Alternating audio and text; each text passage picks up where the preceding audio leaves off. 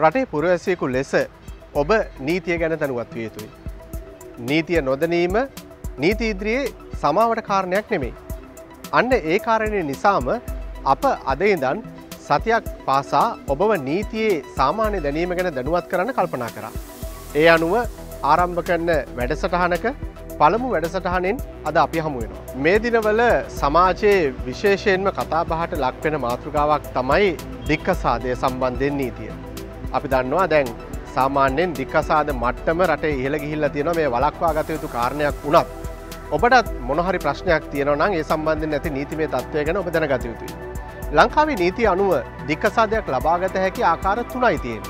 සමහර දෙන අපෙන් ඇවිල් අහනවා අර ඩිවෝස් පේපස්වලට අස්සන් කල්ලා දික්කසාදයක් ලබාගන්න පුළුවන්ද කියලා ඒකට දෙන්න පුළන් උත්තරය තමයි ලංකාවේ නීති අනුව දෙන්නෙකුට කැමැති උන පලියට දික්කසාදයක් ලබාගන්නට බැහැ. දෙන්නාගේ අන්න ඕන්න කැමැත්ත මත දික්කසාදයක් ලබාගන්න ලංකාවේ නීතිය කිසිමි ඩක් නෑ. ලංකාව නීතියේ දික්කසාදයක් ලබාගැනීම සඳහා කාරණා තුනක්කින් එක් කාරණයක් හරි ඔප්පු කළ යුතුයි. මොනද මේ කාරණා තුන. පලනි කාරණය තමයි දේශ සහගත ලෙස අතහැරයම.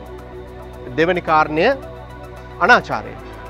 තුන්ගනි කාරණය විවාහයට පෙර පැවැති ලිංගික බෙලහිනතාවේ. මෙන්න මේ කාරණා තුනෙන් එකක් අනිවාර්යෙන්ම ඔප්පු කළ යුතු වෙනවා ලංකාවේ දික්කසාද තීන්දුවක් ලබා ගැනීම සඳහා. මේ තිය තවත් වැදගත් කාරණයක් මෙහිදි මතු කර යුතුයි අපි දන්නවා සමහරත් දෙනා තුළ මතයක් තියෙනවා වසර හතකට වඩා වෙන්වෙලා සිටියොත් දික්කසාදයක් ඉබේ හම්බෙනවයි කියලා.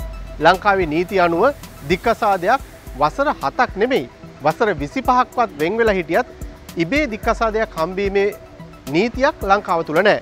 එහෙම නම් මා ඔබට මුලින් කියපු දික්කසාදයට සම්බන්ධ ඒ දික්කසාදයට බලපාන්නා වූ වෛවාහික වැරදි තුනෙන් එක වරදක් අනිවාර්යෙන්ම අධිකරණය ඉදිරියේදී ඔප්පු කරලා පමණයි ලංකාවේ දිකසාදයක් ලබාගන්නට පුළුවන්කම ලැබෙන්නේ. දැන් මෙයින් මා ඔබට මුලින් කියපු පළවෙනි වෛවාහික වර්ද ගැන මා ප්‍රථමයෙන් ඔබගේ අවධානය යොමු කරන්න කැමති. දේශ සාගත අතහැරයාමේ වෛවාහික වර්ද. මෙය තමයි ලංකාවේ සාමාන්‍යයෙන් ඉතා ප්‍රබල ලෙස ඒ වගේම බහුතර ලෙස පුද්ගලයන් දික්කසාදය සඳහා යොදාගන්නා තියෙන්න්නා වූ එකම වරද.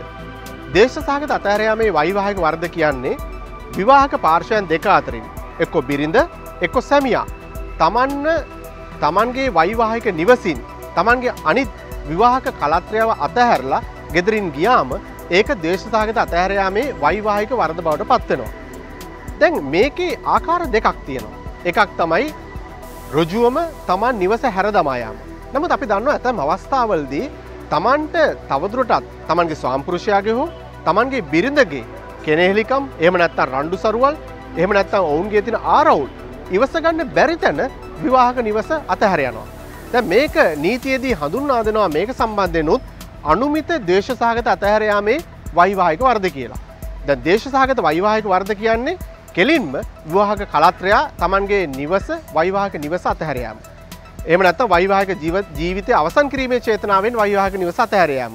අනුමිත දේශසාගත අතහැරයාමේ වෛවාහික වර්දකිල අපි හඳුන්වන්නේ අදාළ කලත්‍රයට තවදුරටත් ඒ තියෙන වාතාවරණය මැද්දේ තමන්ගේ වෛවාහික ජීවිතය ගත කරන්න බැරි නිසා ඔහුත් සමඟ එකට ජීවත්වන තවමත් හැකියාවක් නැද නිසා සිද්ධ වෙනවා තමන්ගේ වෛවාහික නිවස අතහැරල යන්න එක ඕමනාවෙන් යන විදිර නීතිය දකින්න නෑ අතහැර යන විදියට වැඩ සලස්සනෝ අනිත් කලත්‍රය විසින්.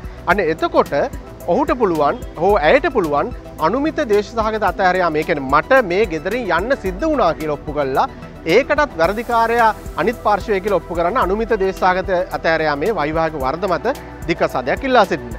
දැන් අර වසර හතක සීමාව එම නැත්ත වසර හතක් වූ ඊට වඩා වැඩි කාලයක් පාර්ශවයන් දෙකක් වෙන් වෙලා සිටිය පමණින් දික්කසාදයක් ලැබෙන් නැහැ කියල මං ඔබට කිව්වා.